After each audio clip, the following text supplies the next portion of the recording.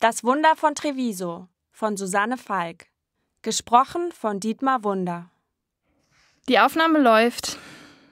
Diesen Oktober brach also das Chaos über Don Antonio herein. Es kam im penetranten Klingeln des Telefons daher, dessen Hall den Pater nun täglich etwa 22 Mal in blanke Verzweiflung stürzte. Das Telefon sprach zu Don Antonio, und er sprach kein Italienisch. Vielmehr ereilten den Pater Anrufe pilgerwilliger Christen ohne Italienischkenntnisse aus aller Welt. Die Gespräche verliefen in etwa so. Pronto? Hallo? Sie pronto? Hallo? Hallo? Sie sprechen mit der Nummer Treviso 78 85 63. Mit wem spreche ich? Hallo? Madonna, wer ist denn da? Sie, ja, Madonna. Was? Hä? Was wollen Sie? Madonna? Es war einfach entsetzlich. Gestern war es ein kroatischer Mönch gewesen, dem er nach minutenlangem Gespräch endlich klarmachen konnte, dass Treviso über kein Bed and Breakfast verfügte. Heute hatte er einen Teilerfolg bei einem griechischen Geistlichen, mit dem er sich auf Altgriechisch darüber verständigte, dass das Pfarrhaus nicht in der Lage war, 47 griechisch-zypriotische Pilger mit Essen zu versorgen. Und dass es in Treviso kein Internetcafé gab. Das altgriechische Wort für Internetcafé stellte ihn jedoch vor eine echte Herausforderung, denn was der andere mit Raum, der die Verbindung zur Welt ist, sagen wollte, war ihm leider nicht sofort aufgegangen. Es ist die Hölle, stöhnte Don Antonio, als er wieder einmal Zuflucht in der Krypta suchte. Keiner hat gesagt, dass es leicht werden würde, antwortete Don Ignazio. Hast du nichts Besseres zu bieten als diese, diese Plattitüden, alter Mann? Ich könnte ein bisschen Trost gebrauchen.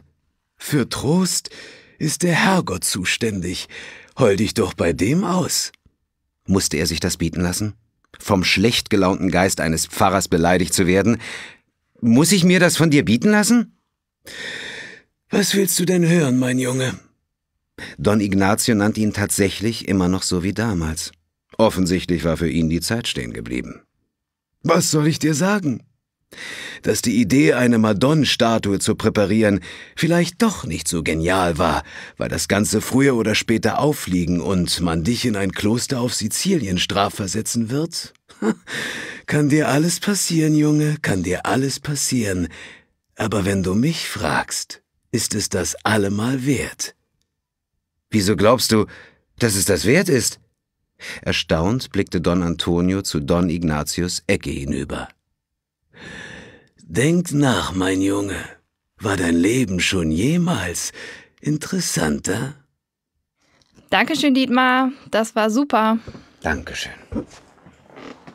Ich habe ähm, die ganze Zeit eigentlich beim Lesen und auch beim Hörbuch jetzt äh, diese Bilder vor Augen gehabt. Ich habe also wirklich so diese, diese Piazza oder beziehungsweise diesen Platz da gehabt vor Augen und habe dann gesehen, wie die in Anführungszeichen allälteren Männer, die die Jungen da durch die Gegend laufen, wie der wie der Bürgermeister dann da irgendwie rumstolziert und so. Und ich glaube, diese Bilder, die haben mir sehr geholfen, mich darauf vorzubereiten. Und das war natürlich letztendlich äh, Verdienst der Autorin, dass sie halt wirklich diese Bilder durch die Sprache geschaffen hat, auf die ich mich im Grunde genommen nur noch aufsetzen musste am meisten Spaß gemacht äh, darzustellen, hat vielleicht der äh, imaginäre Antworter am Telefon, beziehungsweise der, Tele der Typ, der anruft bei Don Antonio und sagt Hallo. Das hat vielleicht am meisten Spaß gemacht, das zu äh, spielen oder beziehungsweise zu lesen.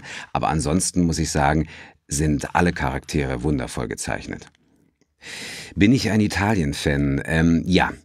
Es ist so, dass ich wahnsinnig gerne italienisch essen gehe. Meine Frau ist schon immer sehr amüsiert, wenn ich sage, wollen wir nicht italienisch essen gehen? Dann sagt sie, können auch mal was anderes machen.